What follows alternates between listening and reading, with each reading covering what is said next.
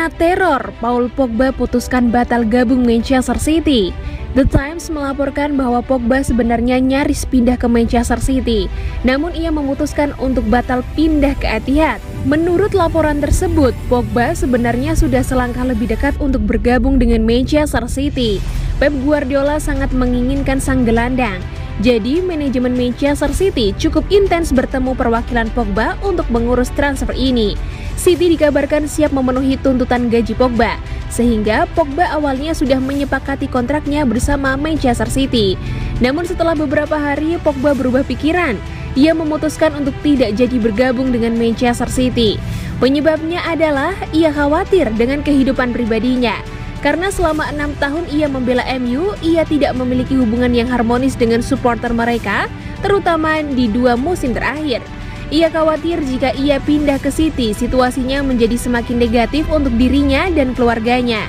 Jadi ia memilih untuk tidak pindah ke City. Menurut gosip yang beredar, Pogba saat ini semakin dekat untuk kembali bermain di Serie A.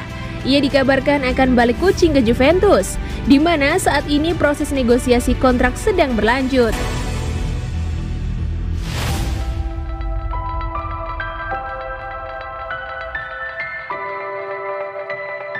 Man City minta segini untuk Gabriel Jesus, Arsenal langsung mundur teratur. Gabriel Jesus diketahui hendak meninggalkan Etihad Stadium.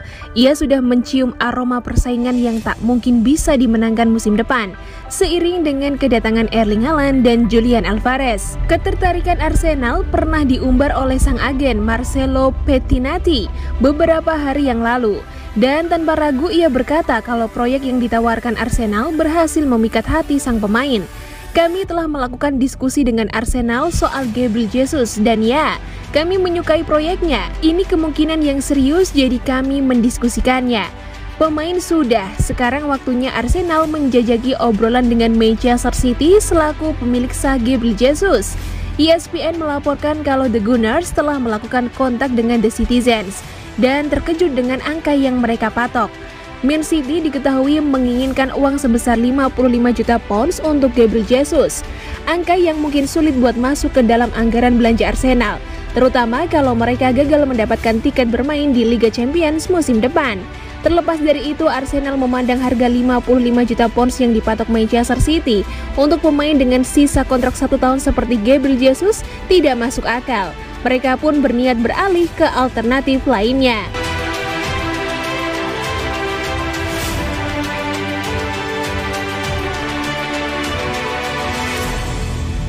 Erling Haaland ke Liga Inggris, efeknya bakal mirip comeback Cristiano Ronaldo ke Man United. Manchester City mendeklarasikan keberhasilan mereka menggait penyerang fenomenal milik Borussia Dortmund Erling Haaland. Dengan bergabungnya Haaland ke dalam skuad, maka Pep Guardiola kini mendapatkan striker tertajam di Eropa. Ex-back kiri Man City, Nedum Onuaha, meyakini kedatangan Haaland bakal berdampak serupa dengan yang dialami Cristiano Ronaldo. Kehadiran Haaland akan menghadirkan hype yang serupa dengan yang diberikan oleh Cristiano Ronaldo saat kembali ke Manchester United. Pada musim panas 2021, Ronaldo memutuskan kembali ke Man United usai ditebus 12 juta pounds dari Juventus. Melihat dia datang ke Premier League, salah satu talenta muda terbaik di dunia, saya pikir itu adalah dorongan besar bagi Liga Inggris. Dorongan besar ini menguntungkan bagi Premier League sama seperti melihat Ronaldo kembali ke Man United di awal musim ini.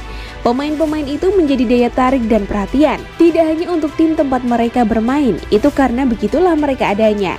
Bagi Man City untuk bisa mendatangkan seseorang seusia itu, ada ruang baginya untuk berada di sana dalam waktu yang lama karena dia masih sangat muda. Seorang pemain berusia 21 tahun datang ke Liga Inggris dengan kebisingan semacam ini di sekelilingnya. Ini benar-benar luar biasa.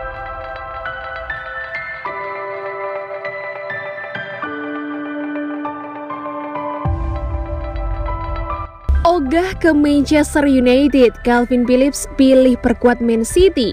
Pemain tengah menjadi prioritas utama Manchester United di bursa transfer musim panas. Mulanya, mereka cukup sering dikaitkan dengan Declan Rice yang sedang bersinar bersama West Ham United. Namun dari laporan yang beredar, Manchester United tidak mau gegabah membeli Rice karena harganya dipatok setinggi langit. Mereka mengalihkan perhatiannya ke target yang lebih realistis, salah satunya Calvin Phillips. Leeds United berada di ambang jurang degradasi. Mereka sedang menempati peringkat ke-18. Untuk bisa bertahan di Premier League, The Wits harus mengalahkan Brentford dan berdoa agar Burnley gagal menang atas Newcastle United. Jika skenario paling buruk terjadi, yakni terdegradasi, Leeds United bakal kesulitan mempertahankan pemain-pemain andalannya. Artinya, mereka harus siap melihat Phillips berganti seragam musim depan.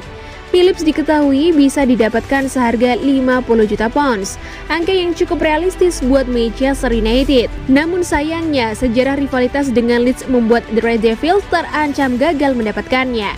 Phillips dikenal sebagai pendukung setia Leeds, lahir dan besar di kota tersebut, dan menurut laporan The Mirror, gelandang berusia 26 tahun itu lebih memilih memperkuat Manchester City ketimbang harus mengenakan jersey The Red Devils.